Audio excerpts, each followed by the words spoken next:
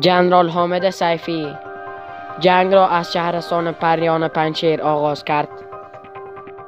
به نام خداوند بخشاینده و مهربان سلام و وقتتان بخیر. به یکی از ویدیوهای دیگر از این کانال خوش آمدید.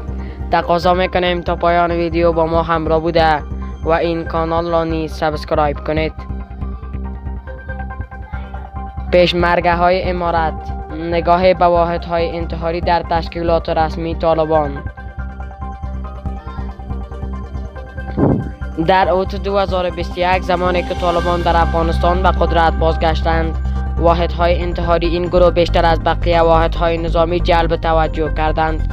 رسانه های طالبان در ابتدا لشکر ابتدایی فاتح زواک لشکر منصوری لشکر عمری و واحد الحمزه را به عنوان ستون اصلی تشکیلات نظامی این گروه تبلیغ کردند. ظاهر اعضای این های نظامی هم با بقیه جنگجویان طالبان متفاوت بود. بیشتر از آنان یونیفرم های نظامی به تن داشتند.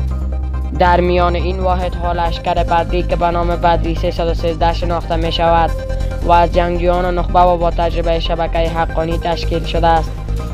برای تصرف کابل سرعت بیشتر به خرج داد.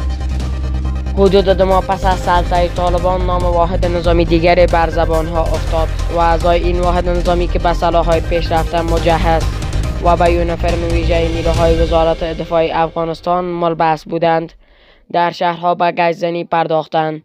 این واحد نظامی به نام لشکر منصوری ابراز وجود کرد. لشکر منصوری زیر نظر به ملا محمد یعقوب سرپرست وزارت دفاع طالبان است. و در پایان جنرال حامد سیفی جنگ را از پریان پنشیر آغاز کرد. جنرال حامد سیفی آغاز جنگ دوباره از شهرستان پریان پنشیر را آغاز کرد. برای پیروزی ما دعا کنید. تشکر از توجهتان تا ویدیوهای دیگر. خدا نگهدار.